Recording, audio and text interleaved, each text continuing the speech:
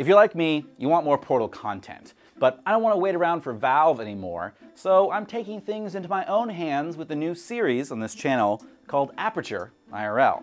Now, I'm not a game designer. I can't make mods. I don't even make custom Portal 2 levels. But I do build physical things, and that's the goal of this series, to take some of the most iconic fictional technology from the Portal franchise and bring it to the real world and share those designs freely. Based on my GLaDOS video, I think some people are concerned that I want to recreate the unethical fictional company in its entirety. My actual goal is just to create a celebration of Portal by creating animatronics, gadgets, and toy versions of the tech from the games and sharing those designs freely so that you can build them too. And yes, the files for Wheatley are already available. And if you like this idea of getting free stuff and free support, you can always support me on Patreon, like these amazing people have right here. But no matter what, stuff's free, service is free, I just like doing this. I'm going to keep doing it because I like challenging myself and I like making people happy, and this seems like the perfect excuse to do so. Also, Wheatley's been pretty expensive to build, so this video wouldn't be possible without today's sponsor, DataCamp. DataCamp is an online learning platform that makes acquiring data skills easier and more convenient for everyone. Since it's, you know, 2022, I feel like we're all obligated to have futuristic jobs like hover mechanic or data scientist you can't work on, well, actually, you can work on hovercraft, but you, you know what I mean.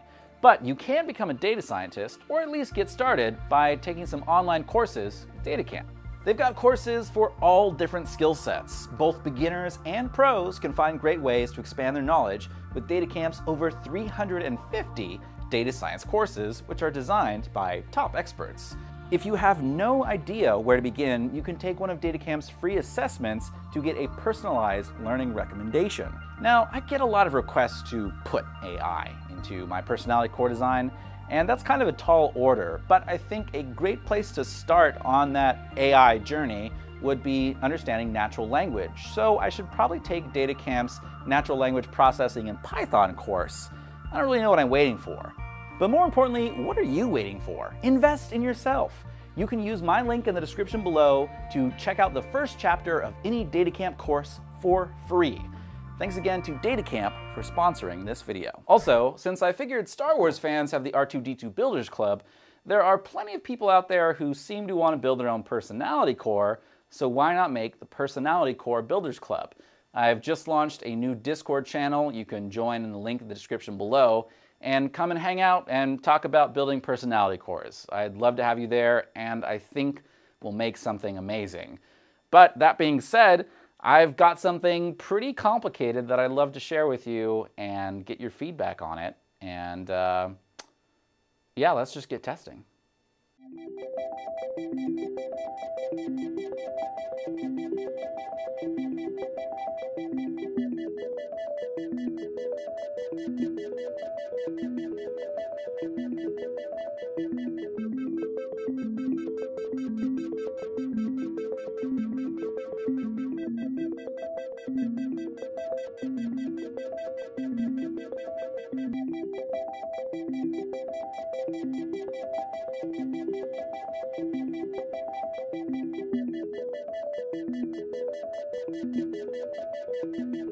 Turning on the power switch. And it popped right through the shell. All right, manually supporting the power switch. Nothing should happen because it's not connected, but let's do that. All right, so let's do a quick run through of the features. First up, independent eyelids, upper and lower.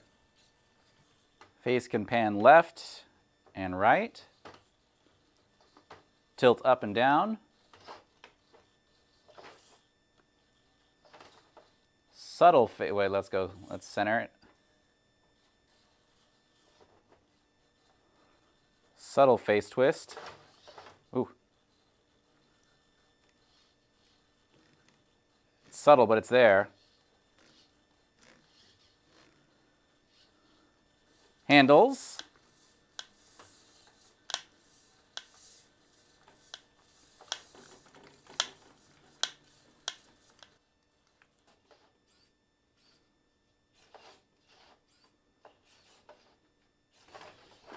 All right, you'll notice there's an issue. I'm not currently operating the Waldo, and yet